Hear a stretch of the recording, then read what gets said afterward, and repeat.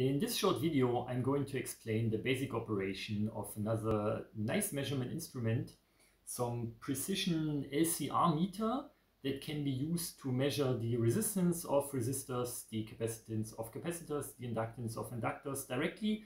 So it's a little bit like uh, an impedance analyzer that I've shown in another video, but it's, it's a bit more easier to operate. So this one here is the model LCR 6100 from the company GW Instek. It's some Taiwanese uh, company. And this one can measure from 10 Hertz, from a frequency of 10 Hertz up to a frequency of 10 kilohertz. So um, not such a super high frequency, um, I will switch it on for a second. Uh, you can hear a beep and you can see that it's also not booting up some Windows in the background, but some very basic firmware and it's booted up very quick. So this is definitely some advantage of this instrument. And it's a shiny new instrument. To be honest, I've just have it for two weeks or so. Uh, so I, I um, don't have too much experience with it and I don't know yet all the bells and whistles.